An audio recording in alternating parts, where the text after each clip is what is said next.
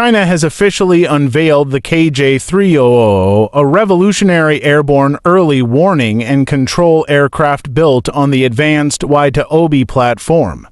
Equipped with cutting-edge AESA radar, powerful WS-20 engines, and next-generation sensors, this aircraft can detect and track hundreds of targets at once extending China's vision in the skies far beyond its borders.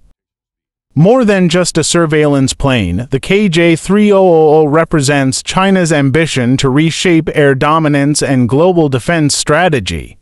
With unmatched range, advanced command systems, and the ability to integrate seamlessly with other military assets, it pushes the limits of what modern warfare technology can achieve.